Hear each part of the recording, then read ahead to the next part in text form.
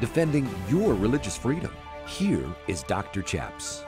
On today's show, we have a returning guest and a fan favorite. Josh Bernstein will give us political analysis of the horrific police brutality case in Minneapolis, Minnesota, where everyone's seen, maybe if you've been watching the news or on the internet, uh, four policemen have now been fired after one of those policemen put his knee upon the neck of a black man who was arrested for forgery and later died because of the policeman's brutality, according to reports and eyewitness video.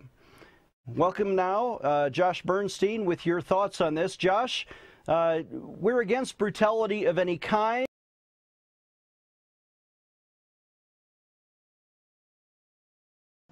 Well, let me start out by saying this. Um, I'm a big supporter of the men and women in blue. They have a great job to do. It's a dangerous job.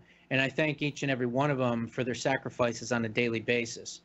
But that does not mean that they are immune to criticism and bad judgment. And to say that this was bad judgment is an understatement. This was a murder caught on tape. This guy was not resisting arrest.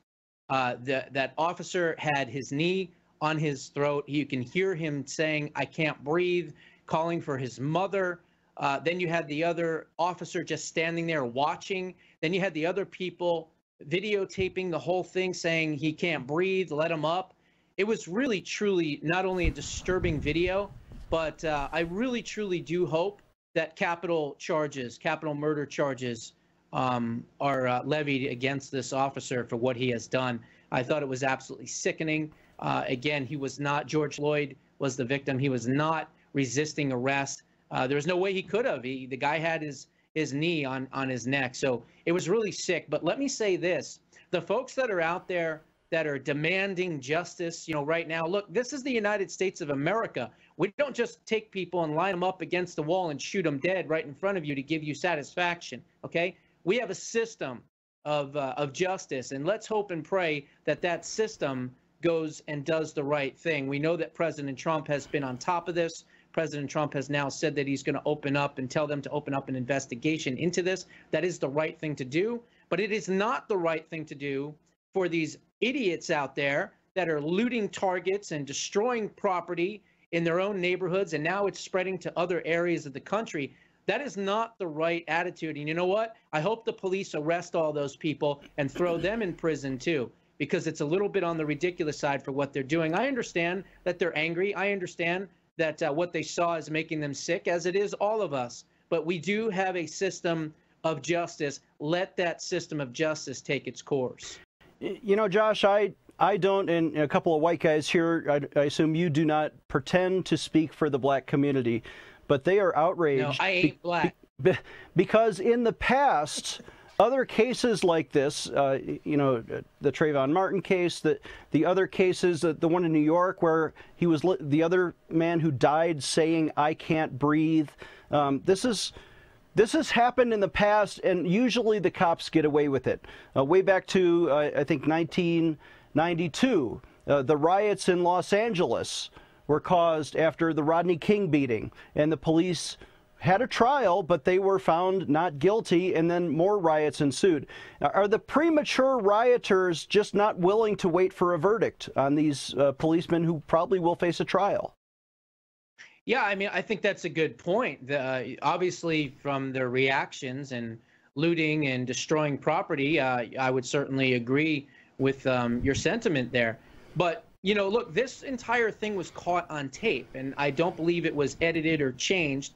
I mean, you can clearly see from the beginning of the arrest all the way to the point in which this unfortunate soul literally left this earth in front of us on camera, in front of millions of people. So uh, I do hope that justice uh, is served. I hope it is swift, and I hope, as I said before, that it is uh, the most severe penalty possible. And, and if that means capital murder charges, then absolutely that's what this officer should get and, and should see.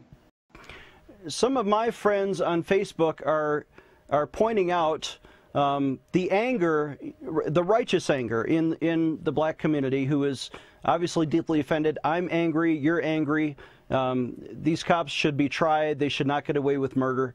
Uh, and yet, Planned Parenthood has killed 360,000 black babies uh, in 2014 and similar numbers in other years.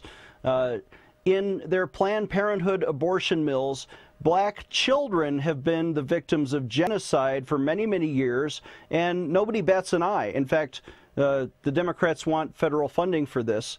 Is there any um, outrage that you've seen over the, the innocent blacks who were being murdered? Uh, compared to this guy who was suspected of forgery. Granted, uh, that is a crime. He's not innocent, but still should not have been mistreated the way he was. Well, look, I think there's no question that the Democrats are truly the party of death. Uh, they celebrate death. They fund death.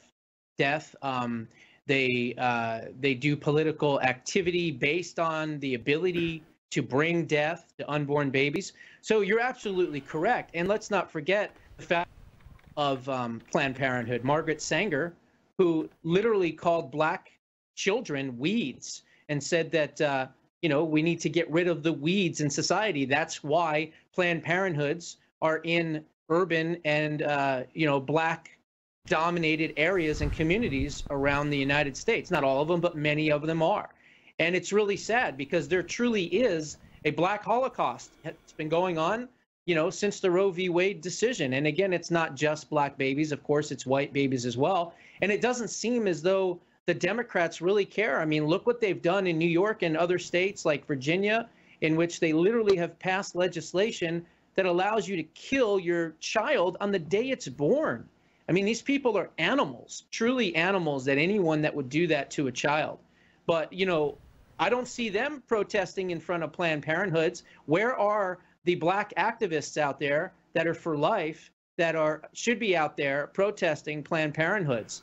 Here's know, another stat. neighborhoods. Uh, let me just read from grrighttolife.org. Is uh, African American women comprise 13.3 percent of the U.S. population, but have 36 percent of all abortions, uh, about three times as many as their population. Uh, pr proportionately. More than 28% of all black pregnancies end in induced abortion. My point is, if you're angry about this, if I'm angry about this, just imagine how angry God is. The feelings of righteous anger that you have inside of yourself, uh, or that the black community has on, on these kind of horrible occasions, just imagine how God feels every day when his innocent children are slaughtered. Take action today. Dr. Chaps needs you to sign an important online petition. Today, I want to invite you to sign a critical petition to defend innocent babies and to end abortion in America. On this show, we like to pray and petition God, but we also need you to take action today by petitioning Congress to stop the taxpayer funded child killing, especially by defunding Planned Parenthood, America's number one abortion provider. Why are your taxes paying to murder innocent children in the womb? Well, if Congress would simply define personhood as life beginning at conception, we can reverse Roe v. Wade. Please join me today by signing this important petition to Congress. Visit prayinjesusname.org. Again, that's prayinjesusname.org and sign your petition today. Sign today's petition right now. Again, visit prayinjesusname.org to sign our petition right now. Dr. Chaps needs your financial support to stay on the air. Would you please send your best donation today? Please visit prayinjesusname.org to donate online. Or you can mail a check to Pray in Jesus Name Ministries, Post Office Box 77077, Colorado Springs, Colorado 80970. You can also call us toll free right now at 866 Obey God. That's 866 O B E Y G O D. Please sign up for our free emails at prayinjesusname.org. Again, that's prayinjesusname.org.